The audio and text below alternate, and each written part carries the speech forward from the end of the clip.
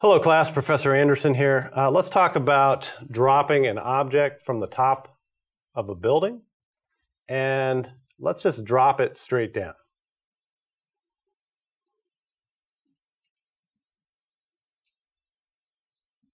Okay, and let's say that we are standing up here at height h above the ground. Okay, and let's ask the following question, how long does it take to hit the ground?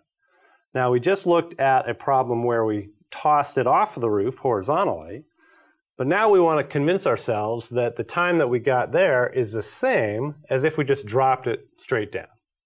So we go back to our kinematic equations.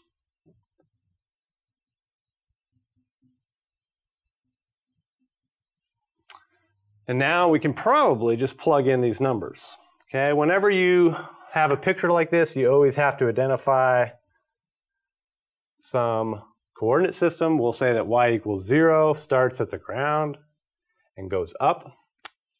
And so y equals h is in fact where we started. We're going to end up on the ground. We're going to start at height h. We're dropping it from rest. So that is zero. AY is of course negative g. And we get t equals the square root of 2h over g.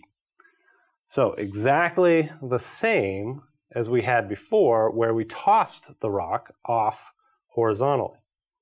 So this is the interesting thing about two-dimension, two-dimensional motion is that the motion is in fact decoupled. You have x equations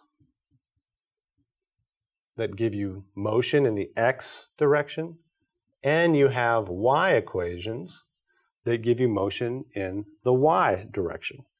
And for our projectiles, we in fact knew the following.